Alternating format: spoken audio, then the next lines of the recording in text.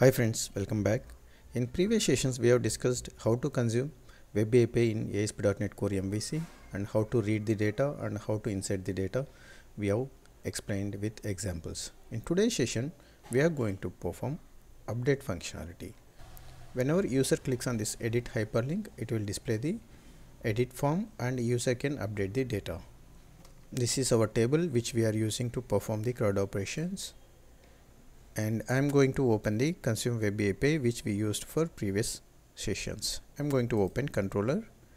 This is the product controller which we consumed our web API. This is the API URL and here we are passing the base address along with the controller name and action name. For update the data here I am going to create one action method. This will be get method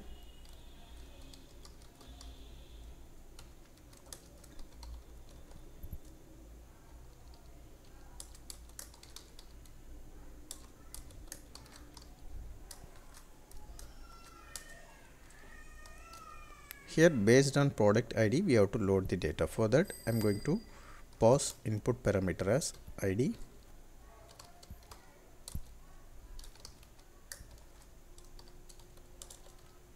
here i'm declaring product view model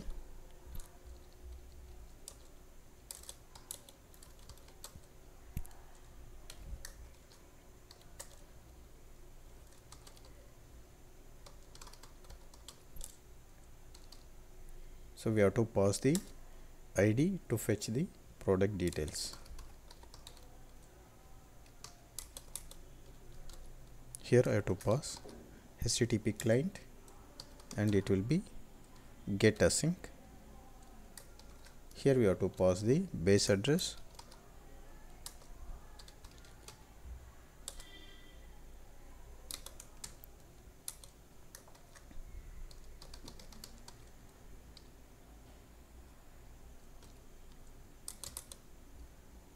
here we have to pass the action name also.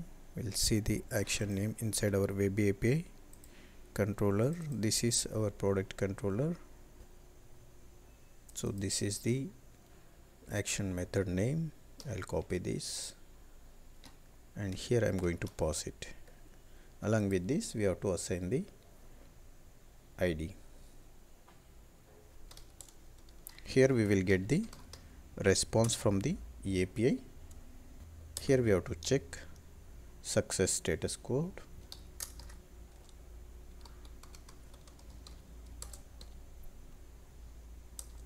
If it is if it is true here we are going to deserialize the JSON data.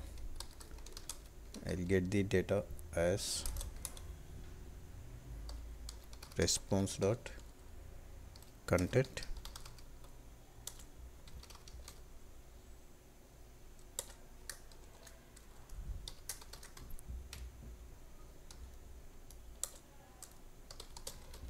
here I will assign the deserialized data. For that I am going to use JSON convert. Here I am going to deserialize our JSON format data to product view model.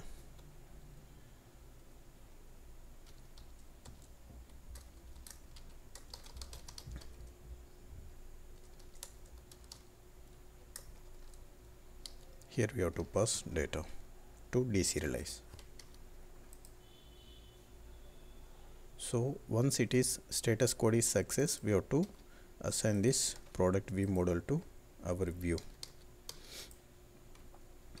Here I am going to create a view for edit the data. Right click on the action method. Add view. If you are not aware of how to consume web API inside MVC application please watch my previous videos. We have explained the process in previous sessions. So I'm going to share the video links in the description. Here I'm going to select razor view to create edit form add. Here I'm selecting template edit. Here we have to select model class that is product view model. Click on add. So here we are using this scaffolding for uh, view creation.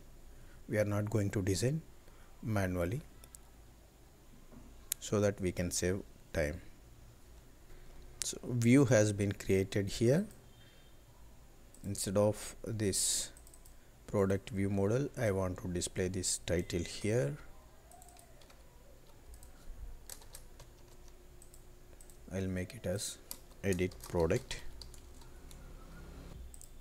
Now we are able to read the data based on the product ID and we are going to display inside this edit view form so now once it is updated we have to post the data to API again for the updation. For that I am going to create one more action method here which is going to be http post.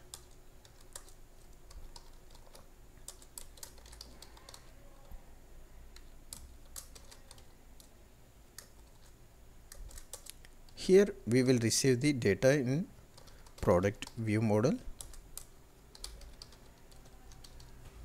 now here this model we have to serialize into JSON format for the updation.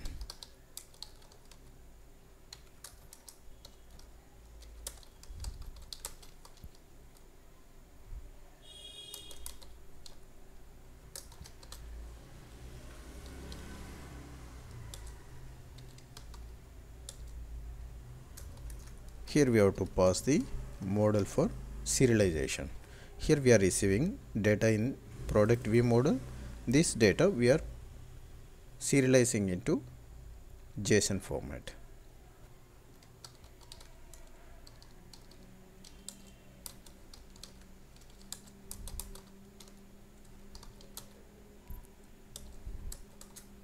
Here we have to pass the data along with the encoding type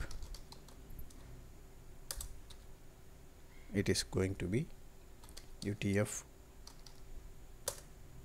8 and here we have to pass the type of data. Here it is going to be JSON. Here we will get the response from API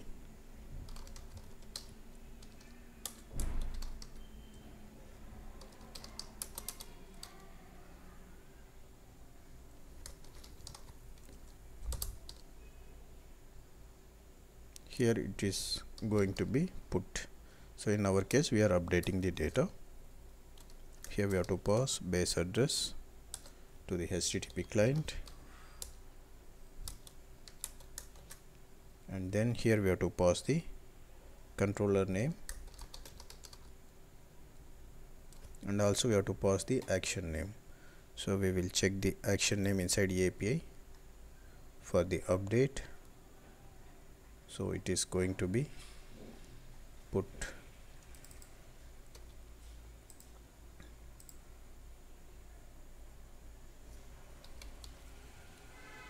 so along with this we have to pass the content also. Here we will get the result. Here we have to check what type of response we are getting here. If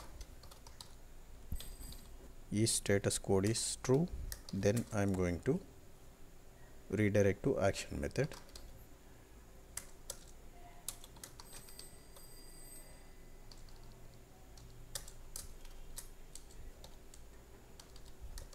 It is going to redirect to index view. Uh, here one more thing we have to do. We have to keep this block inside try catch block so that if there is any unhandled exception we can handle easily.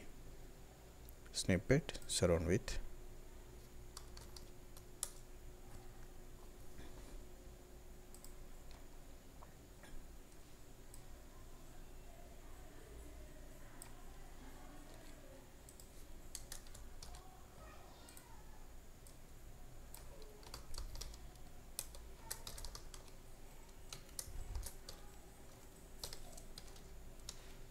also here we have to display the error message.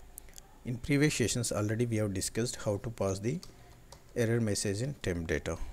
So same thing we are going to use it in this update form also. Here we have to define exception. I'm going to pass exception message here. Here I have to pass the key name for error message. We are going to handle globally inside our shared folder. Same thing I'm going to use it here also. So this is the this is the error message. I'm copying this key value and I'm going to paste it here suppose if it is updated successfully then again I'm going to display the success message here. And here I'll pause message as success message. That also we can take it from here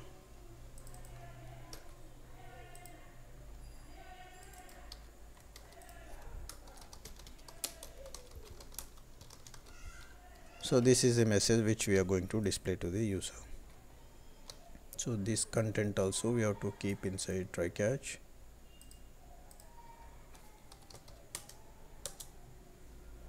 so I'll copy this one. I'll paste it here. Now we have completed both get and post method for update the data. I'm going to index and whenever user clicks on this hyperlink edit so we have to pass the primary key value here. We are not going to use details here. We are going to perform only CRUD operations. Here I'm going to pass ID that is product ID we are going to pass it. This one. I can make it as ID here. For delete also I'll use the same thing so anyway we are going to implement delete functionality also. That's it. We'll run the application. Now both our API and MVC applications are loaded. I'm going to call product controller here.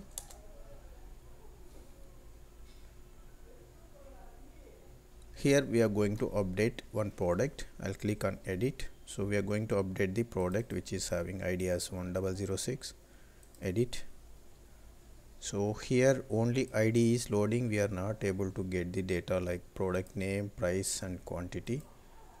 And I will check the API once by pausing this. So this is the action method. Try it out. I'll execute this.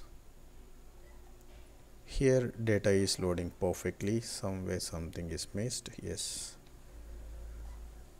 we missed something here. We'll check the get functionality. Uh, this is the base address. Base address is API okay API slash product slash get. Okay it should be slash ID okay okay it should be slash id that is what uh, we are not getting the data. I'll make it as slash. Now i think we will get the data perfectly. I'll run the application. I'll call the product controller. I'm going to edit now. Yes now the data is loading perfectly. And i'm going to make it as instead of tv i'll make it as something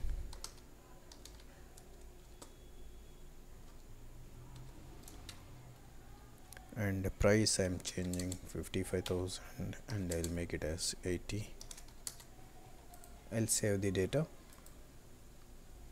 Product details updated. This is the data we entered.